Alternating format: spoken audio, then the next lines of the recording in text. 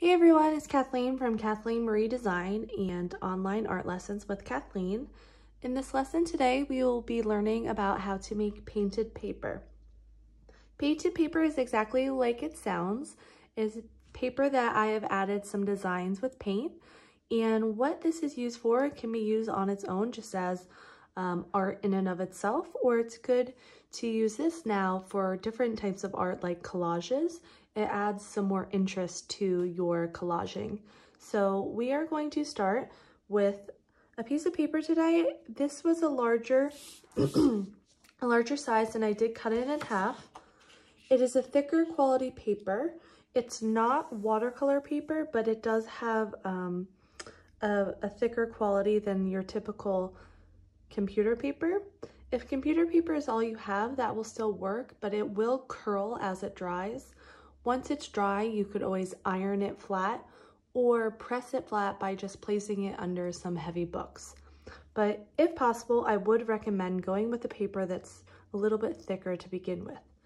So what we're gonna do today, in my example, I have created a painted paper design in the cool colors, which is blue, purple, and green. I'm gonna create another example today in the warm colors, but you can create any colors uh, combination that you like. I'm using watercolors for my painted paper. You can also use typical tempera or acrylic. Acrylic is going to be a little messier and staining. What's nice about watercolor is you have all these color options and you don't have to mix. It's a little bit neater and better for younger students. So ideally for the background, we are going to cover it in one solid color. And if you can, try to find a brush that's a little bit larger. Otherwise it's gonna take some time. So I have this uh, larger squared off brush and like I said, I'm going to do the warm colors today. And so to make sure everything stands out nicely, I'm going to start with yellow, which is the lightest of the warm colors. And that way my yellows, uh, my oranges and reds are really gonna stand out on this solid yellow background. To make watercolor work, you need to always be continually dipping into your water glass or bucket to reactivate that paint. You can tell when you need more water when your brush feels dry, you start to get more of a scratchy texture on your paper. So as you can see, I'm basically dipping in the water every time before I go back into the yellow to make sure that it is wet enough. So I'm going to fill up this entire page with my yellow. You can choose any color you like, but I do recommend trying to start with a lighter background color.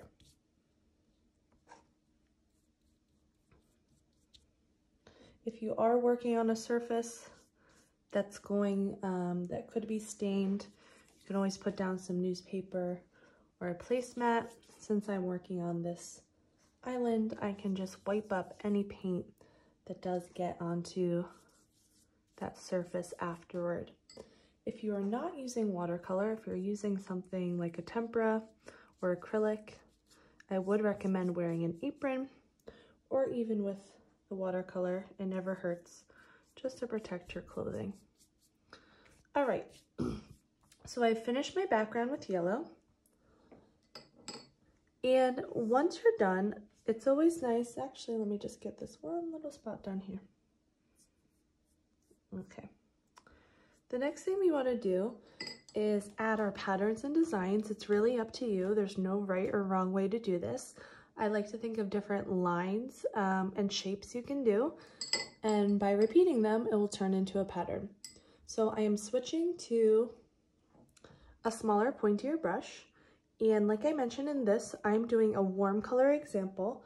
So the three warm colors are red, yellow, and orange. So in my example, I have a zigzag line. This one, I'm going to do a loop-de-loop -loop line. So it just goes round and round and round. I'll do three of those. Now, as you can see, it starts to get lighter at the end. I'm running out of paint, so you can dip again. Don't need as much water this time as we did for the background. All right. Every time we change colors, I need to wash my brush. What I say for young artists is to jump on the bottom 10 times. One, two, three, four, five, six, seven, eight, nine, 10. I like to check in on the paper towel. For young artists, this is a good visual reminder. If there's any color on here, that means your brush is dirty and they need to do it again. But since it's clean, I can re-dip into the water. And now I'll go into another warm color, which is orange. So we have our loop-de-loop -loop lines. How can I make it more interesting? I could add some lines, just kind of dashes in between. So I'm always looking and thinking about ways, how can I make my pattern more interesting? And the answer is to always add more details. New color, jump on the bottom. Check it, it's clean. Magenta is also a warm color.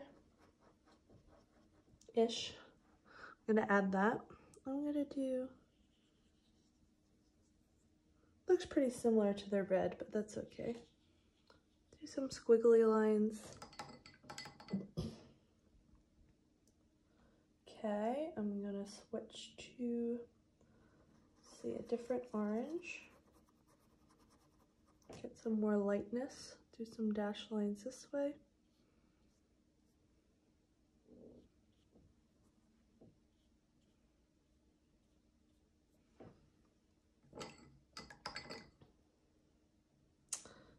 Some peach. Peach is a warm color. It's a variation of orange. What can I add? I could color in this section of the loops, kind of like a teardrop shape. I'm not doing it super precise. You know, if I really wanted to take my time and get that shape perfectly, I could. But this is a little bit more abstract. We don't need to worry about making it perfect. Okay. Let's see if there's anything else. I do have one more yellow color in my palette. Not sure if it will show up with the yellow background. Kind of. Just add a little bit more yellow to it. This is kind of more random. It's not, not really following a pattern. I'm just adding little more yellow touches here and there. All right, so I have one cool piece of painted paper, one warm piece of painted paper, and if I was going to make something abstract, some type of collage, I could then cut this out, glue it on. It's going to create a much more interesting paper to work with than just something solid. So I will show you one more example. Let's see. Put this over here. we could just do something that's not following any type of category, but maybe just more open-ended. Let's start with this nice turquoisey color.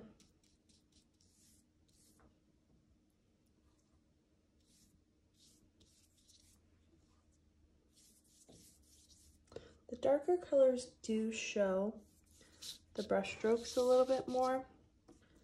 But like I said, it doesn't need to be perfect, so it's okay if you can kind of see these different strokes.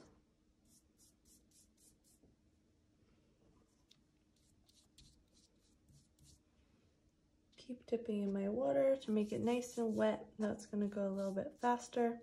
Of course, the more water you add, the lighter your color will get. So that is just something to keep in mind.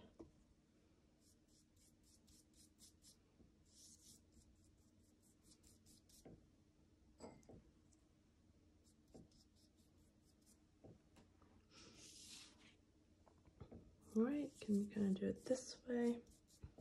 All right, so I've roughly filled in the background with this turquoisey color. And now I can put any color I like on top. I'll go back to my skinnier brush. And I'm going to add I think This magenta is gonna look cool. Maybe instead of starting with lines, I could just start with shape. So I could start with some circles. And I could switch colors right away and do something different.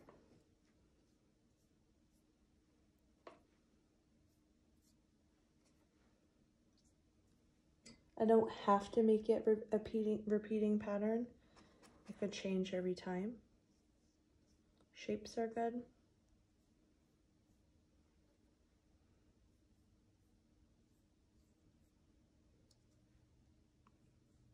Now, if I were to cut out this paper and use it for a collage, it will look different than the other two since it's not a repeating pattern. Where you cut out, depending on where you cut, it's gonna look a little different. But that's okay. Like I said, there's really no right or wrong way to do this. Let's see, I'll add some orange.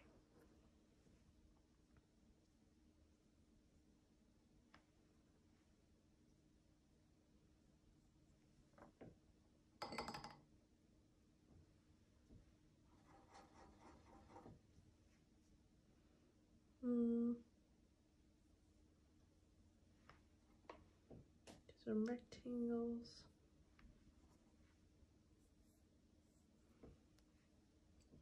Fill it in.